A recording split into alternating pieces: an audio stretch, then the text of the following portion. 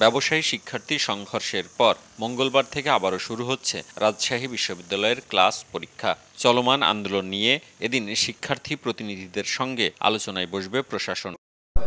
সোমবার দুপুরে বিশ্ববিদ্যালয়ের কনফারেন্স রুমে সাংবাদিকদের এ তথ্য জানান উপাচার্য গোলাম সাব্বির সাত্তার। উপাচার্য বলেন, শিক্ষার্থীদের নিরাপত্তায় ক্যাম্পাসে বহিরাগত প্রবেশ সীমিত ও মেস মালিকদের সঙ্গে আলোচনায় বসবে কর্তৃপক্ষ। গত দুদিন ক্যাম্পাস ও রেলপথে সহিংসতার জন্য বহিরাগত বিশেষ একটি গোষ্ঠীকে দায়ী করেন তিনি। এই ক্যাম্পাসটা আসলে বহিরাগতদের খুবই বেশি দৌরাত্ম হয়ে গেছে। অনেক অনৈতিক কাজের সাথে জড়িয়ে পড়ে এবং এমনকি আমার শিক্ষার্থীদেরকেও তারা বিভিন্নভাবে হেনস্থা করে। তো আমরা সেই সিদ্ধান্ত মেনে নিয়েছি। আমরা আজকে থেকে বহিরাগতদের ব্যাপারে কঠোর অবস্থানে যাব। তবে শিক্ষার্থীরা বলছেন তাদের দাবি বাস্তবায়ন না হওয়া পর্যন্ত আন্দোলন প্রত্যাহার করবেন না তারা। রকমারের ডিসকাউন্টের উপরে শুধুমাত্র নগদ দিয়ে পেমেন্ট করলেই পাবেন আরও একুশ পার্সেন্ট ক্যাশব্যাক এই আলটিমেটাম শেষ হলে তারা কি কি দৃশ্যমান পদক্ষেপ অগ্রগতি নিয়েছে সেটা তাদের কাছ থেকে আমরা জানতে চাবো।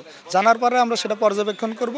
যদি মনে করি যে অগ্রগতি হয়েছে সেটা নিয়ে আমাদের পর্যবেক্ষণ করে আমরা পরবর্তী কর্মসূচি করব। এদিকে সংঘর্ষের ঘটনায় মামলা করেছে মতিহার থানা পুলিশ। নিরাপত্তায় এখনও ক্যাম্পাসে মোতায়েন রয়েছে অতিরিক্ত পুলিশ। আমাদের পুলিশ ফোর্স মোতায়েন করা আছে এবং আমরা সিচুয়েশন অবজার্ভ করছি। সিচুয়েশন অনুযায়ী আমাদের যে ব্যবস্থা নেওয়া দরকার, সেইভাবে আমরা প্রস্তুতি নিয়ে আছি। শনিবার সন্ধ্যায় বাস ভাড়া নিয়ে দ্বন্দ্বের জেরে বিনোদপুর বাজারের ব্যবসায়ীদের সঙ্গে শিক্ষার্থীদের সংঘর্ষ হয়। এতে আহত হন দুই শতাধিক। মৌদুদ্রানা সময় সংবাদ, রাজশাহী।